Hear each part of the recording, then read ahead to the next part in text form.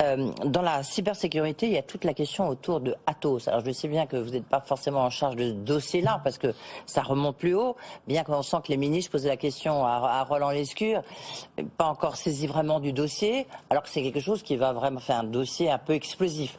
Au cœur de ça, il y a une pépite sur la cybersécurité.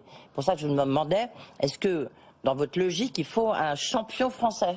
Bien sûr, et, le, président de la République, vous l'avez rappelé, a, donné comme objectif 100 licornes, dont 25 vertes et 3 cyber. Et nous avons un certain nombre de, pépites.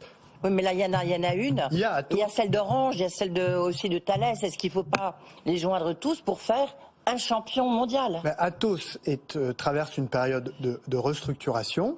Euh, je crois qu'il faut laisser son équipe euh, dirigeante, son conseil d'administration prendre les décisions. Mais évidemment, nous sommes très attentifs à ce mhm. qu'il se passe. il y a des orientations qui ont été prises pour scinder les, activités.